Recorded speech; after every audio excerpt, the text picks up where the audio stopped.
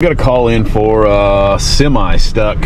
I'm not sure if you guys can zoom in on that, but I see a semi at the top, just to the right of that new construction up there on the mountain. Apparently, he got up there in the S curves and can no longer make the corner. They say there's not a load on the truck. It's just uh, some sheet metal for roofing. So hopefully, the almighty little Dodge will will get this guy pulled over. But can you imagine taking a semi up through here? Uh, Dude, that's a record, son.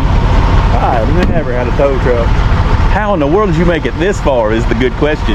I called them and I specifically told them, I said, I'm in a tractor trailer, 36 foot, with a forklift on the back. But now they told me, well, they've been tractor trailers up here before. I would love to meet the guy that got the tractor trailer up here.